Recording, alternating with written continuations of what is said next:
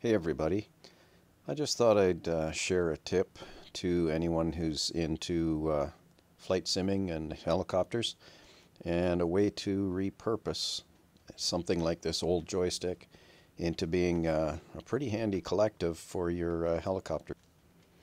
One thing you'll notice right off the bat is that I mounted it at about say a 45 degree angle and that's so that when I push it full forward it's close to horizontal which is what a collective would be when it's uh, all the way down and when I pull it up it again resembles uh, how a collective uh, goes up when you lift it. Um, I did also decide to leave the spring in.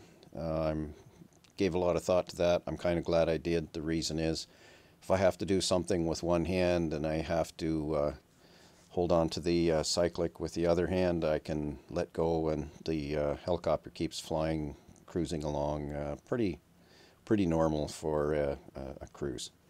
Anyway, let's get into it. One other thing that isn't uh, required for this uh, setup for the collective, but that I find very handy is to use uh, these switches. I have three of them onto my sim, mounted on my sim rig for uh, different things. Anyway, this is how I choose to run either the joystick, the yoke, the pedals, or the collective, and which of those that I have on. For helicopter, I use uh, joystick, pedals, and collective. So here we are in the Laminar Sikorsky S76. This would have a throttle correlator, so we don't have a separate throttle just the collective. Let's go in and check the settings. So here it sees my uh, rudder pedals. I don't need to do anything with those. This is my main joystick, which I use as my cyclic. And the old joystick is here. And I only need axis 2, which is the collective. If I'm running an old piston uh, helicopter like the Bell 47, then I can use axis 1 as throttle, axis 2 as collective. So now I have a uh, somewhat realistic uh, twisting the throttle action uh, on the collective stick. Okay, here we are in the S76 Sikorsky, and with the throttle correlator, there's no need to uh, twist the throttle. Let's just lift the collective up. Nice and easy.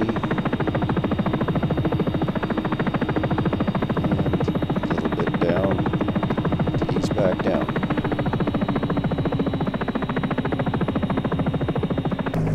Okay, we're in the Bell 47. That's where we have throttle. Watch the uh, RPM gauge down in the lower right. And we twist the collective to get a little bit of throttle to get her throttle up into the green. Bring it out. Back in. And when we're in the green, we can lift on the collective. And off we go. It's a fun, fun little helicopter to fly, but it's, uh, it's tricky when you're uh, juggling all those balls at the same time. Again, just ease it down down we go.